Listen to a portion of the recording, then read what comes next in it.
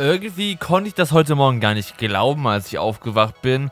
Denn Cerebi hat auf Twitter gepostet, also Cerebi hat eine Seite des, ähm, der Zeitschrift Telebikun gepostet, wo auf dem Header halt Misty, Rocco und der Ash aus der Alola-Region zu sehen sind. Und ich dachte mir so, Alter, was, was zur Hölle? Okay, wir bekommen also jetzt offiziell in den nächsten zwei Folgen irgendwann, also ich glaube in übernächster Folge, Misty und Rocco zu sehen. In der Alola-Region. Sie kriegen so gesehen ihr Debüt dort. Und irgendwie finde ich das schon ziemlich, ziemlich geil. Weil Rocco und Misty und Ash, das ist halt das Trio, womit ich halt eigentlich meine Kindheit so ein bisschen, naja, vergleichen kann. Weil ich weiß es nicht. Also auf jeden Fall habe ich ja früher mit dem ersten, mit der ähm, ersten Staffel angefangen, mit dem, mit dem normalen Anime und also der Kanto-Liga. Und ja, da waren halt Misty und äh, Rocco dabei. Also Mistvieh war mir eher immer so ein bisschen egal, weil die mir eher so ein bisschen auf den Piss ging.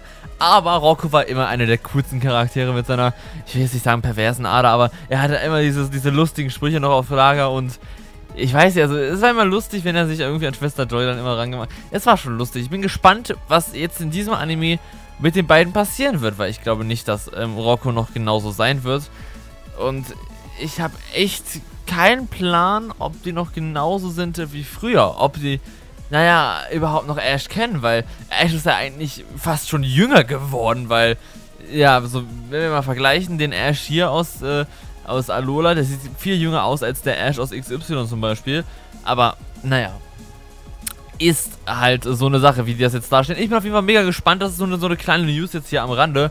Finde ich auf jeden Fall sehr cool, dass man das mit eingebaut hat in dem Anime, weil ich weiß nicht, es ist so ein kleiner Nostalgiefaktor und ähm, da wir ja auch die ähm, eine Arena aus der Kanto-Region zu sehen bekommen haben, ähm, in Pokémon Ultra, sondern Ultramod, lässt es vielleicht darauf hoffen, dass wir vielleicht irgendwas mit Kanto nochmal wiederbekommen, weil Misty und Rocco, zwei Arenaleiter aus der Kanto-Region kommen im Anime vor, dann die Arena von äh, Major Bob in der Ultrasonne und Ultramod-Edition. Hm, ich weiß nicht, aber es wird so Kanto-mäßig wieder. Irgendwas wird da bestimmt auch passieren. Ich bin auf jeden Fall gespannt. Schreibt mir eure Meinung liebend gerne dazu in die Kommentare. Ich möchte echt gerne wissen, was ihr von der ganzen Sache hier haltet. Bis zum nächsten Mal. Bis dann und ciao. Haut rein. Euer Sirlo.